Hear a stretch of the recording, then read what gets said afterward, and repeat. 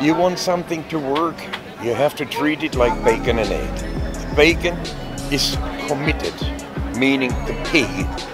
The hen is only involved. So if you want the relationship to work perfectly or as good as possible, you can't just be involved, have a little sex and then go again. You have to be committed.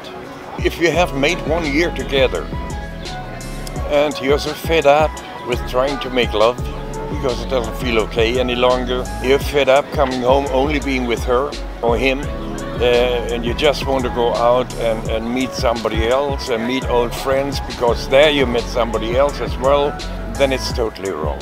But if you have managed it six, seven, eight years, then it's worth fighting for. That's what I think.